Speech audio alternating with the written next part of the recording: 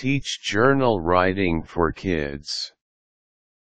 Do you want to require your students to write a journal? Go ahead. It is a wonderful idea. It can encourage them to reflect about a book that they have read recently, an activity that they have done, or an event that they attended. Your primary responsibility is to provide them with clear instructions. You should also guide them on each writing stage. Here are some teaching strategies for you. Incorporate the journal writing in your class activities. Think about the activities that you have planned for your class. Find out how you can tie up the journal writing exercises to some of them.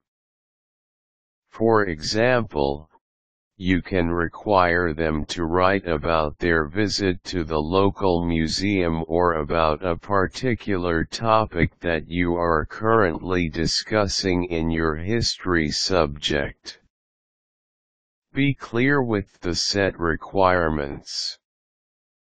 You can prepare a handout. You can indicate there the specific steps that they have to follow. You can also detail the criteria that you want them to meet. Don't forget to include the deadlines that they have to beat. As a bonus, you can list down some tips on how they can write their journal entries better. Provide lots of examples. It is always practical to show your students some models. By referring to the examples, they can clearly see understand your expectations. You can also challenge them to get inspiration from them. You can photocopy excerpts from books. You can suggest some internet links for them to visit. You can also request them to look from newspapers and magazines. Read and check works regularly. Strive to acknowledge the efforts of your students. Make it a point to review their journal entries first before you give their next task. It is going to benefit your students. They can learn from their mistakes. Initially, you can touch on the basic mechanics, grammar, spelling, and punctuation.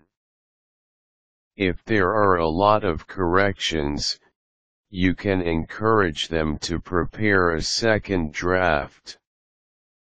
And as they write more, consider focusing on idea organization, word choice, and overall style.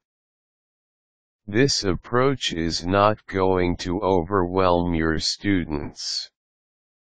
If the journal entries are already impressive, praise them. That's going to motivate them to write more. Consider the timelines.